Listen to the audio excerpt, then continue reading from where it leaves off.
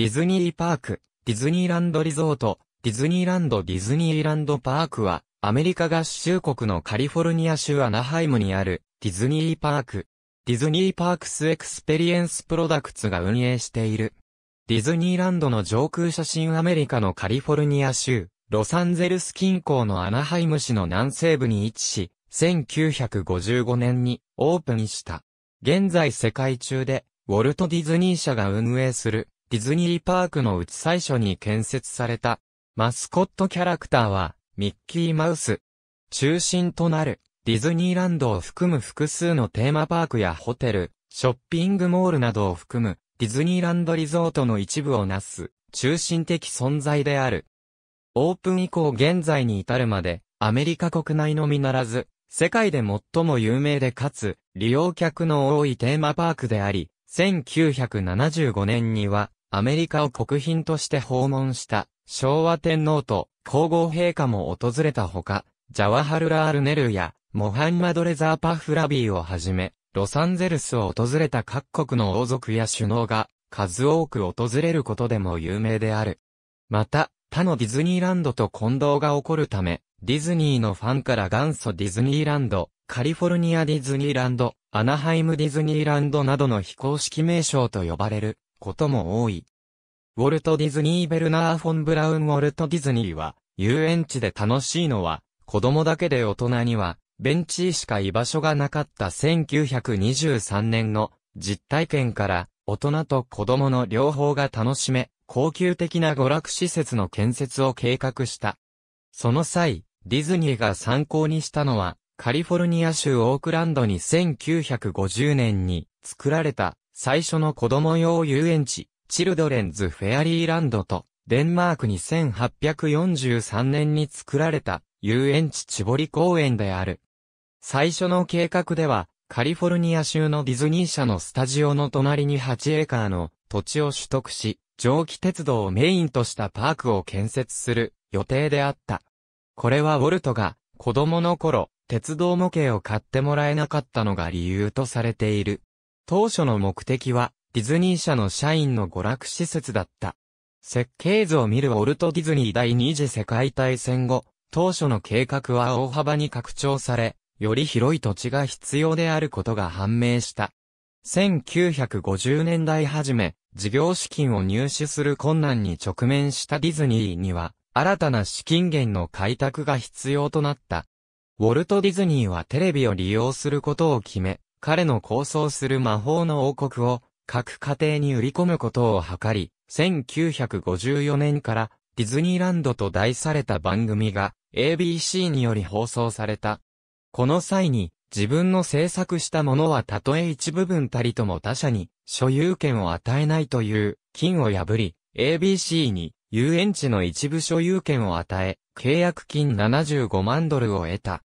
スタンフォード大学の研究員の示唆により、ディズニーは計画中の遊園地のために、はじめの計画の22倍に相当する160エーカーの用地を1エーカーあたり4000ドルでロサンゼルス近郊のアナハイムに取得した。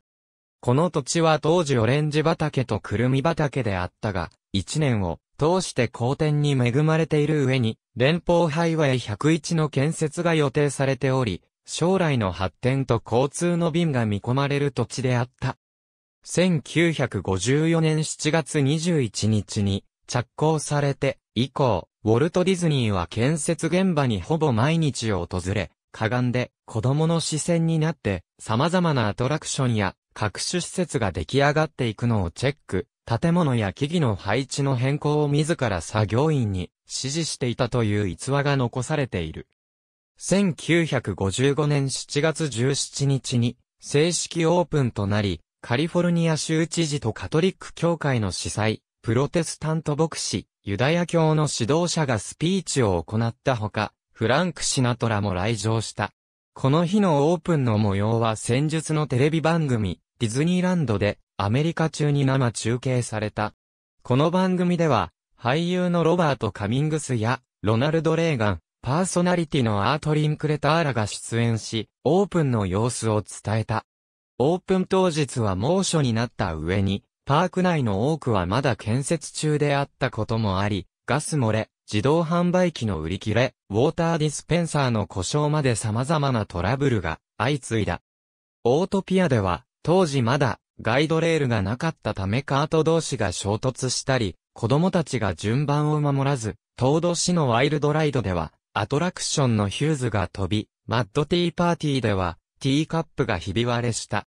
オープン当初は、ジャングルクルーズや、蒸気船マークトウェイン号など、11種類のアトラクションしかなかった上に故障も頻繁に起きたため、初日の様子はキャストからブラックサンデーと呼ばれた。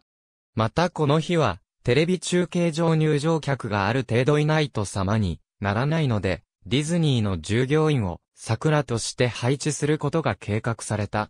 しかし、入場券の偽造などにより、収容人数の3倍とも言われる5万5千人が来場し大混雑となり、桜は不要になった。当時のメディアからは、これらの事態を受け、ディズニーランドは波乱の幕開け、ウォルトの夢は悪夢などの酷評が数多くあった。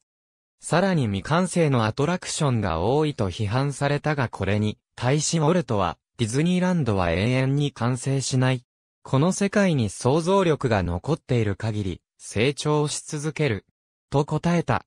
オープンから2ヶ月で総入場者数は100万人を超え、1年で400万人を突破したが、ディズニーランドが完全な形で運営されるまでには丸3年かかった。その後も順調に来客者数を増やし、1956年にオムニバス、ホースレスキャリッジ、トムソーヤ島イカダ、スカイウェイ、おとぎの国のカナルボートがオープン。1958年に、不思議の国のアリス、ホブネコロンビア号がオープン。TWA ムーンライナーの更新が行われたほか、1959年には、ディズニーランドアルベーグモノレールや、サブマリンボヤッジ、トゥモローランドオートピアなどの、その後人気を博すアトラクションが追加されるなど、複数のアトラクションが追加、更新された。また、同年に1500万人目のゲストが来園した。なお、モノレールは、その後数回にわたり、車両の更新が行われており、2020年現在は、5世代目の車両となっている。またサブマリンボヤッジは1998年に一時改装のため閉鎖されたが、その後映画、ファインディングにもの要素が追加されて、ファインディングにものサブマリンボヤッジとして再オープンした。1959年にアメリカを初訪問したソビエト連邦の最高指導者であるニキータ・フルシチョフは大使館員からディズニーランドの存在を聞き訪問を強く希望したものの保安上の観点からシークレットサービスに訪問を拒否された。これに怒ったフルシチョフは歓迎晩餐会の挨拶の場でこのことに対する苦情を述べた。1963年のディズニーランド1963年に、魅惑のチキルームなど、オーディオアニマトロニクスを導入したアトラクションがオープン。1965年には、開園から10周年を迎えた。その後5年と10年ごとに、アニバーサリー企画が催され、園内が華やかに飾られるほか、ゼネラルモーターズなどのスポンサーによる自動車などの入園プレゼント企画も提供された。また、同年に、ウォルト・ディズニー・ストーリー、リンカーン大統領の演説の感動がオープン。1966年には1964年からニューヨーク州で開催されたニューヨーク、バンコク博覧会から、イッツ・ア・スモール・ワールドがファンタジーランドに移設されてオープン。ニューオーリンズ・スクエア、カリブの海賊も同年にオープンした。1969年に、ホーンテッドマンションなどがオープン。その他、1960年代には、同じく移設された、ピープルムーバーが、グッドイヤーのスポンサーの下で、トゥモローランドにオープンした。さらにディズニーランドモノレールの路線を延長することで、園内と直結した、初の直営ホテルである、ディズニーランドホテルが開業した。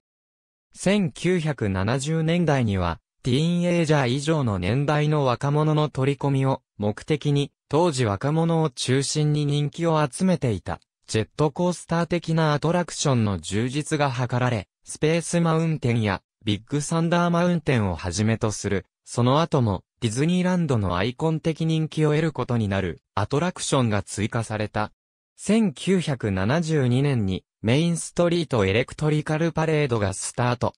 1976年に1億5000万人目のゲストが来園1978年にマッターホーンボブスレーなどがオープン。また1970年代中盤以降、円高と航空旅客運賃の低下、それらがもたらした海外旅行熱を受けた日本からの来客者が激増したため、これまではヨーロッパ言語のみであったパンフレットや音声案内、園内の案内板などに初めてアジア言語である日本語版が設置されるなどの対応が行われた。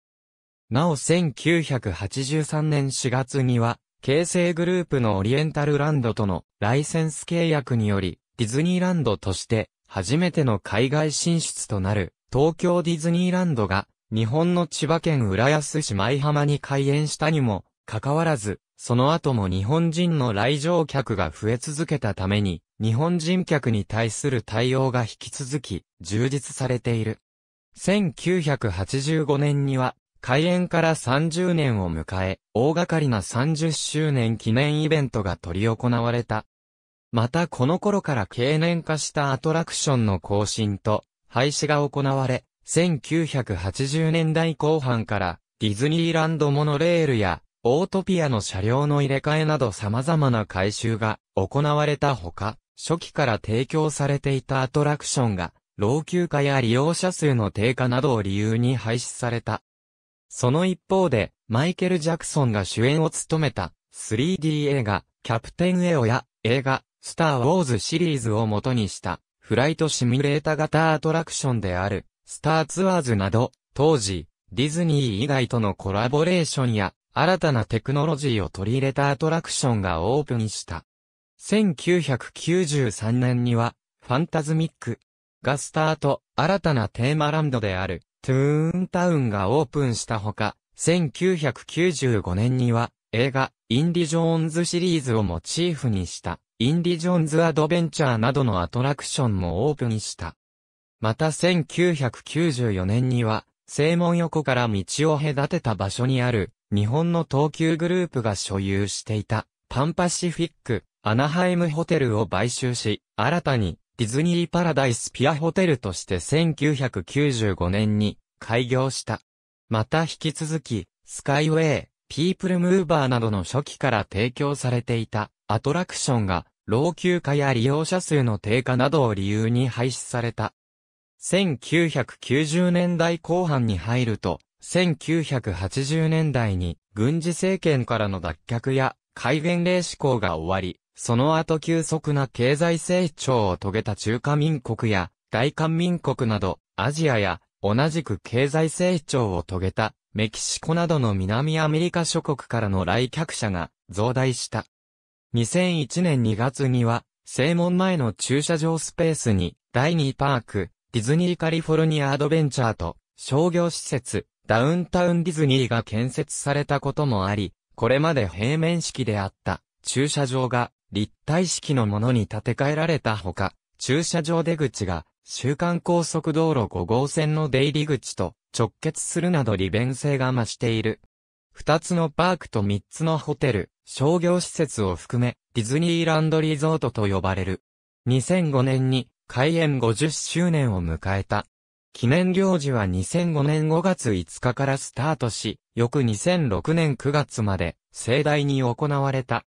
パーク内各所に、ミッキーの形に、50の数字が施された飾りが50個隠されたり、50年前のオープン時から現存する乗り物は金色に塗装されると、ゴールデンアニバーサリーとして他のディズニーパークも交えてのイベントとなった。これに伴い、パレードや夜の花火なども新規のものが導入された。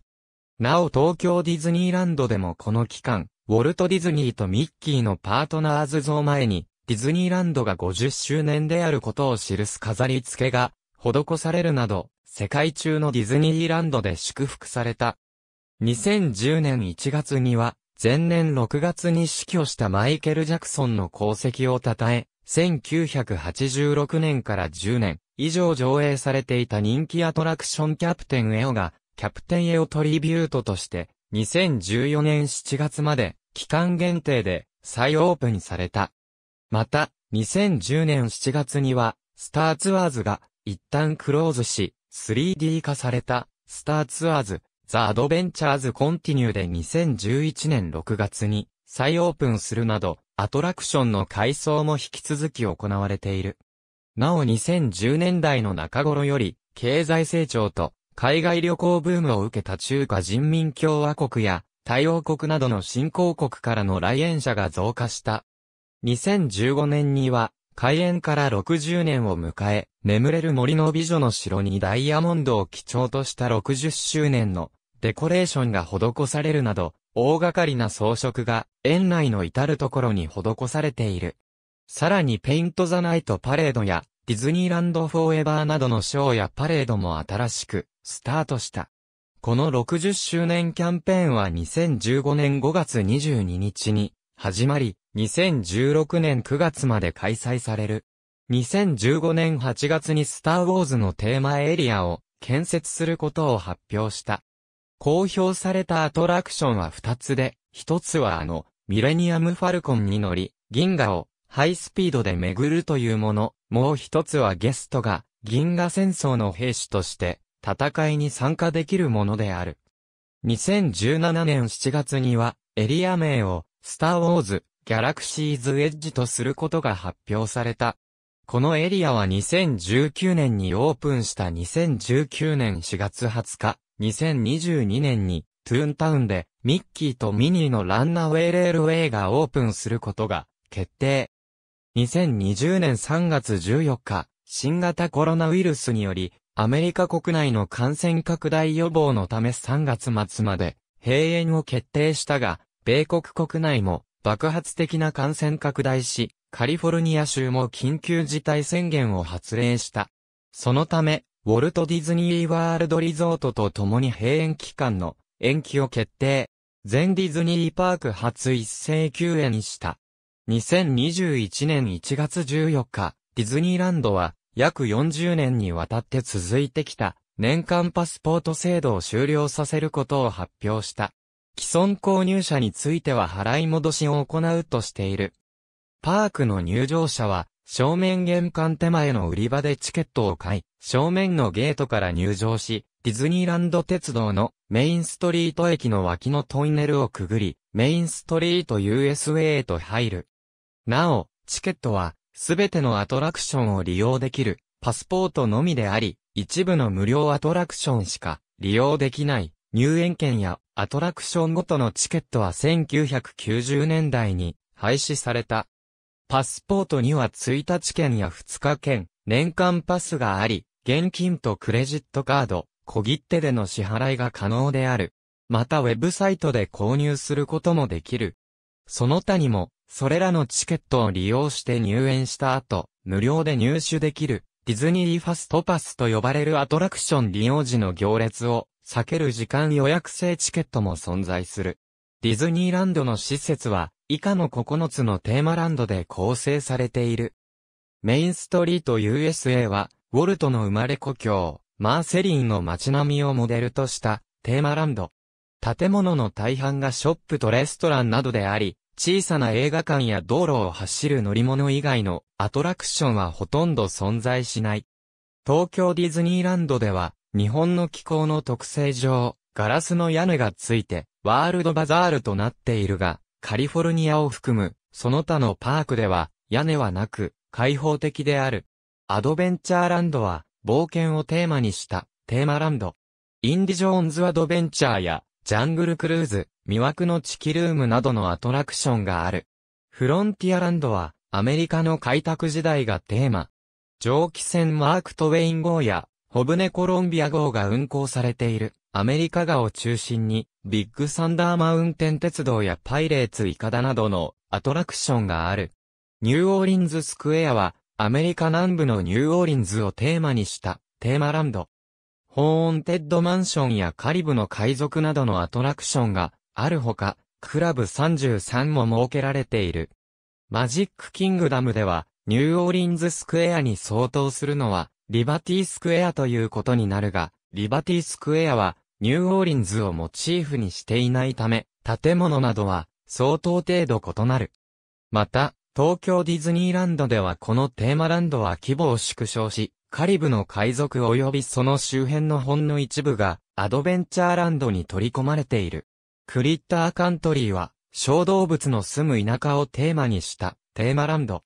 スプラッシュマウンテンやプーさんの冒険、デイビークロケットのカヌー探検など、動物や自然をテーマにしたアトラクションを中心に構成されている。ミッキーのトゥーンタウンは、ディズニーキャラクターたちが住む街をテーマにしたテーマランド。ガジェットのゴーコースターやミッキーの家などのアトラクションがある。西洋のおとぎ話をテーマにしたテーマランド。園内のシンボル眠れる森の美女の城はここに存在する。ピノキオの冒険旅行、白雪姫と七人の小人、不思議の国のアリスと、往年のディズニー作品をモチーフにしたアトラクションが多い。多くのアトラクションが東京ディズニーランドのファンタジーランドと共通する。またマッターホーンボブスレーもこのファンタジーランドに属している。トゥモローランドは人々の夢見る未来の世界や最先端の科学技術をテーマにした世界をテーマにしたテーマランド。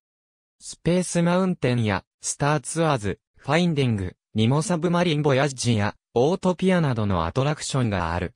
ダウンタウンディズニーとの間を結ぶディズニーランドモノレールの発着駅もある。スターウォーズ、ギャラクシーズエッジは、映画、スターウォーズをテーマにしたテーマランド。一部エリアを除き2019年5月31日にオープンし、2020年1月17日に完全開業。パーク内をディズニーランド鉄道が一周しており、メインストリート USA、ニューオーリンズスクエア、トゥーンタウン、トゥモローランドに駅がある。一周の所要時間は約20分である。駅と駅の間では各アトラクションの裏側が見える場所があるほか、恐竜時代のジオラマなどを見ることができる。1974年までは、アッチソンとピカサンタフェ鉄道会社がこの鉄道とモノレールのスポンサーであったため、鉄道はサンタフェディズニーランド鉄道という名称であり、そのとホテルを結ぶモノレールにも同社のロゴが貼られていた。なお、このディズニーランド鉄道とモノレールは、オープン後、ウォルト・ディズニーが亡くなるまでは、ウォルト個人の所有であった。園内の至るところで、様々なパレードをはじめとするエンターテイメントが開催されている。ディズニーランドは、日常から切り離された架空の世界を冒険するというコンセプトにのっとり、パーク内では徹底した雰囲気づくりが行われている。パークには、いわゆる従業員がおらず、従業員を、キャスト来客をゲストと呼称し、キャストは全員がディズニー作品に則っとったコスチュームをまとって役を演じながら作業をしている。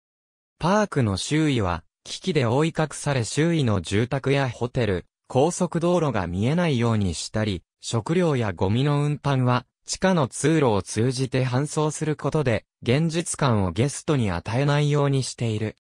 開園以降5年と10年ごとにアニバーサリー企画が催され、園内が華やかに飾られるほか、アニバーサリー記念の土産物やグッズが用意される。また、過去には、ゼネラルモーターズなどのスポンサーによる自動車などの入園プレゼント企画も提供された。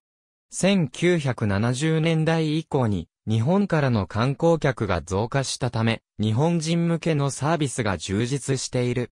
ロサンゼルスエアウェイズのヘリコプターアナハイム市の一般道からアクセスできるほか、市外からの来訪者のために、州間高速道路5号線からパーク内の駐車場へ直通する出入り口がある。